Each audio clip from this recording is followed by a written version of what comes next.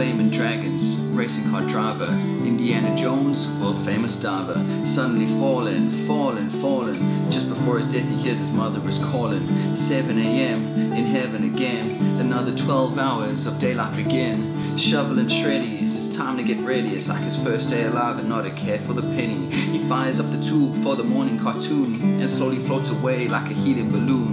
Horizons are smaller, so dreams are alive. Like why can't he tickle himself, though he tries? And why do old people smell kind of funny? And why do more coins not equal having more money? And why does his dad have those lines in his face? It's been a while since he's been around his place.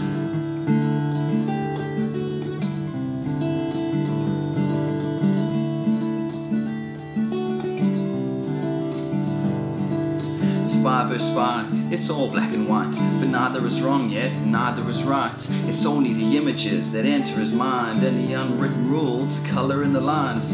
High in the clouds in a big wooden box, miles from reality, forget about clocks. Autobots one side, saving the world and keeping away all the girls. They never want to play cars in the sand or see what happens when you throw a stone in a fan. All they want to do is put dolls in a house and have a tea party with no one around. Girls are weird, he tells his old man. He tells him that he thinks that he'll never understand. But dad can relate, cause he's a real man and always talks to mom with the back of his hand.